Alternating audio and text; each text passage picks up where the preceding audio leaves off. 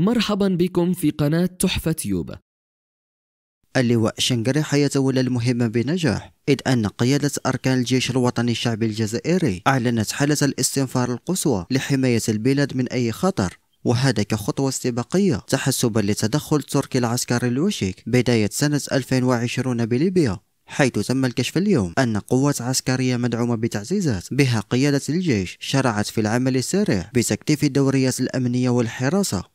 ومضاعفة نقاط التفتيش على الحدود وطبعا إلى جانب تكثيف التطلعات الجوية عبر العديد من المحاور والمسالك الصحراوية. فشنقريحة حسب مختصين خير خليفة للراحل قايد صالح رحمه الله. فقد تم الكشف أنه بعد اجتماع المجلس الأعلى للأمن باشرت هيئة أركان الجيش في العمل بمخطط أمني جديد لتشديد المراقبة الحدودية المشتركة مع ليبيا من أجل صد أي محاولة تسريب أو هجوم. وكان هذا الرد مباشر من اللواء شنقريحة الذي ظهر اليوم. تزامنا مع الغارات المتوقع إجراؤها من الجيش التركي بليبيا فالجزائر تركز على منع تهريب الأسلحة من ليبيا إلى الجزائر. هناك تحديات عدة للجيش الوطني الجزائري الذي أظهر احترافية كبيرة وجاهز لها لردع أي شيء يمس السيادة الوطنية.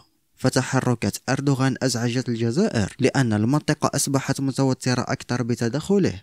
كما أن اللواء شنقريحة أمامه تحدي كبير وهو تصدي لكل محاولة زعزعة استقرار البلاد. والجزائر لن يساعدها هذا التوتر الحاصل بسبب تركيا لأن ملايين المواطنين الليبيين العزل الذين لا ذنب لهم في هذه الحرب سيجدون الفرار إلى الجزائر أو الدول المجاورة كحل وحيد من هذا الوضع. لهذا الجزائر تعرف مصلحة ليبيا جيدا وأكدت أن الحوار فيما بينهم هو الحل. الحل السياسي بالحوار ولا غير ذلك فقط سلميا وأن تدخل تركيا عسكريا. سيؤزم الوضع لا محالة. شاركونا بآرائكم في التعليقات. كما لا تنسوا الإعجاب والاشتراك في القناة. وشكرا جزيلا.